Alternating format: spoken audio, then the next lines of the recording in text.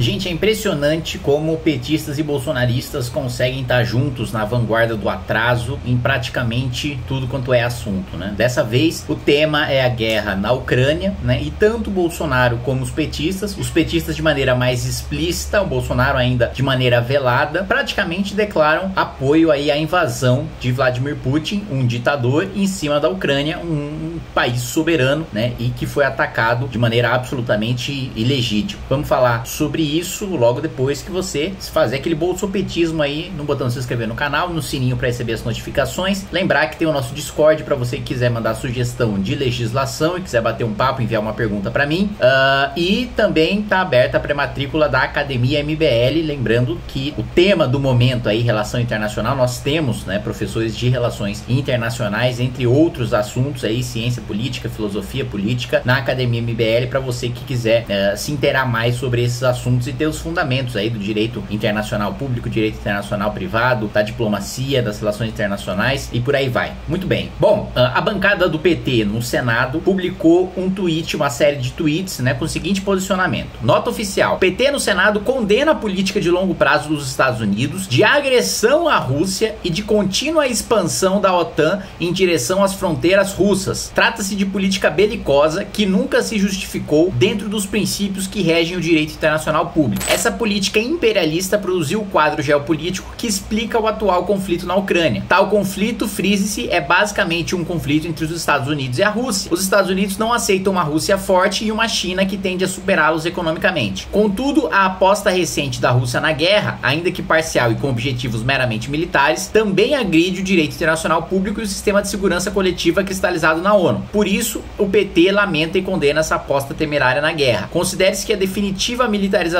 desse conflito é uma ameaça não apenas às partes envolvidas, mas também a todo mundo, inclusive o Brasil, pois ela envolve potências nucleares. Nesta guerra, todos serão perdedores. O PT no Senado defende o imediato cessar das hostilidades e conclama uh, as partes envolvidas que voltem à mesa de negociação com base nos acordos de Minsk. A paz sempre merece uma chance. O PT voltou atrás dessa nota, né? Apagou, se arrependeu de ter publicado, mas fato é que é uma nota que, apesar de no final dizer condenar né, o conflito, condenar a invasão, joga toda a culpa nos Estados Unidos, né? Ou seja, a sanha anti-americana dos petistas é tamanha que até quando a Rússia avança sobre um país soberano, a culpa é dos Estados Unidos, né? Primeiro, os Estados Unidos não anexaram né, nenhum território próximo da Rússia para ameaçar a segurança russa, nem nenhum tipo, nem anexou nenhum tipo de território europeu. Existe a OTAN, né, que é um acordo, né, uma liga militar, por assim dizer, e que os países voluntariamente, os países que desejam, os estados-nação que desejam ingressar, ingressam na OTAN, né? Claro que com todos os seus membros discutindo, principalmente os Estados Unidos, se é conveniente ou não ter aquele país naquela aliança militar. Mas é uma decisão absolutamente autônoma do país que deseja ingressar na OTAN, como havia negociações para a Ucrânia né, é, entrar na OTAN. E se um país decide entrar numa aliança militar, nenhum vizinho seu tem o poder, tem o direito de invadir esse país, porque esse país quer fazer parte uma aliança militar. Ponto final. Não dá para jogar culpa nos Estados Unidos. Os Estados Unidos não iniciou nenhuma agressão ilegítima contra a Rússia ou contra qualquer país da Europa. Se a Ucrânia, né, voluntariamente, para se defender de uma ameaça de invasão russa, que vem de antes, já não é de hoje, né? Veja só o discurso do Putin. Primeiro, a mentira de que a Ucrânia é uma invenção do Lenin, né? A Ucrânia é um estado-nação e tem uma história que precede, né, o governo Lenin e que não tem absolutamente a criação né, da, da, da Ucrânia enquanto estado não tem absolutamente nada a ver com Lenin, assim, é um discurso mentiroso, abertamente é uma propaganda mentirosa, política, aberta, assim, para todo mundo que quer constatar os fatos. O discurso dele é justamente esse, e, é, que, que não ameaça a Ucrânia de hoje, que não ameaça a Ucrânia a partir da negociação com a OTAN. A negociação com a OTAN para a Rússia,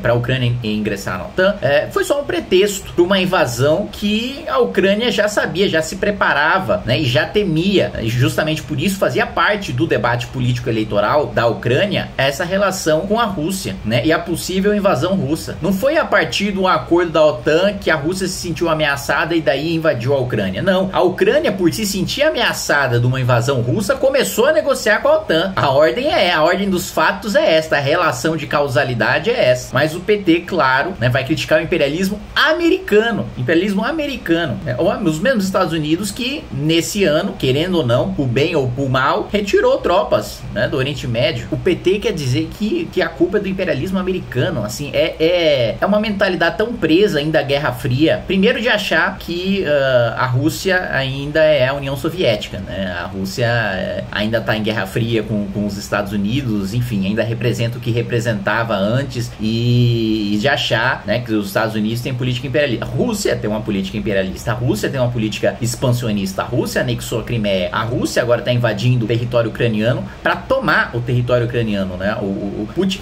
falou muito abertamente de não reconhecer a Ucrânia enquanto nação, né? Ele não tá falando de só a impedir que a Ucrânia entre na OTAN, não tá só impedir que, que tenham bases militares da OTAN na Ucrânia, não. O sujeito que tá negando a existência do país. O discurso dele vai muito além dessa notinha tosca aqui que o PT publicou, né? O nosso querido presidente Jair Bolsonaro, claro, não poderia ficar calado também, né? Ele, ele tem uma oportunidade de falar besteira, claro que ele não vai se segurar, né? É mais forte do que ele. Ele vê a oportunidade na frente. Eu preciso falar alguma besteira.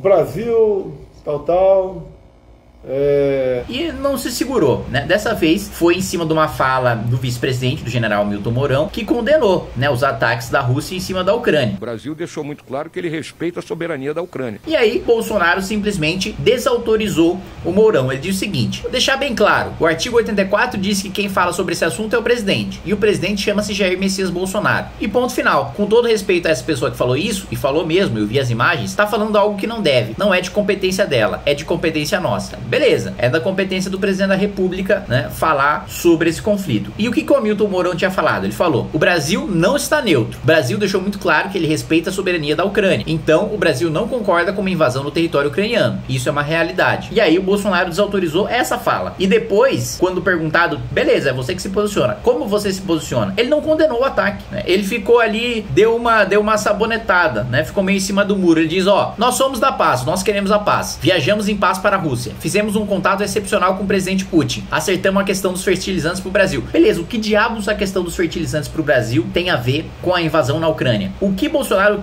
quis dizer com essa fala, que não, que sei lá, no máximo que você pode derivar dessa fala é que o Brasil não vai embarcar nas sanções contra a Rússia, que o Brasil não vai se alinhar com a Europa e com os Estados Unidos, porque se ele falou sobre uma troca comercial, sobre um acordo de fertilizantes, logo ele não vai embarcar em sanções econômicas, logo ele não vai bloquear o comércio com a Rússia. A única coisa que se pode depreender é isso. De resto, primeiro, né, é a piada que já virou os bolsonaristas que acreditaram que o Bolsonaro conseguiu a paz, né? O ministro do Turismo se prestou ao papel de dizer, né, que uh, o Bolsonaro tinha conseguido isso, assim. É, assim, é tão tosco o ministro de Estado é, embarcar num discurso desse e o próprio Bolsonaro falar, coincidência ou não, as tropas foram retiradas. Putin é um cara que quer a paz. Minha solidariedade ao Putin, né? Como se ele estivesse sofrendo muito com a Ucrânia. O Putin é uma ameaça, a Ucrânia ali do lado é, é, do Putin, ainda mais com o Ocidente agindo de maneira tão frouxa como, como tem agido, né? A Europa, os Estados Unidos, né? Falando, ó, oh, Putin, para, que vai dar ruim, ó, Putin, para, que vai dar ruim, ó, Putin, para, que vai dar ruim, ó, Putin, vai, vai, vai, vai, vai, ninguém faz nada. Então, assim, mais uma vez, é impressionante como nos assuntos, né, mais dos assuntos mais diversos, sei lá, de privatização, aumento de imposto até conflitos internacionais, os petistas e bolsonaristas conseguem estar juntos naquilo que há de pior na nossa política.